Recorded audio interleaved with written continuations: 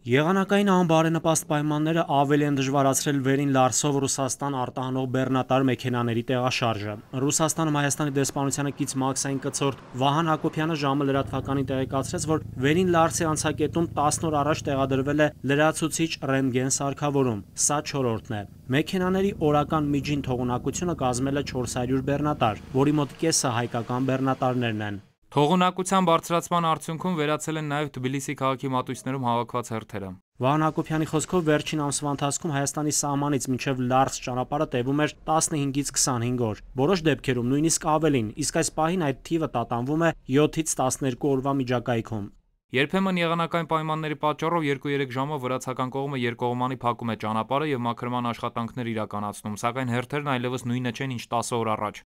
Կան բեռնատարների վարորդներ, որոնք երկար չեն կարող մնալ դեպի Լարս տանող ճանապարհին, քանի որ բեռնատարներում կան շուտ փչացող ապրանքներ, եւ իրենք ստիպված վերադառնում են։ Հատկապես շատ են տուժել եւ տուժում գյուղատնտեսական ապրանք արտահանողները։ Նաիրի Մուրադյան, ժամը լրատվական։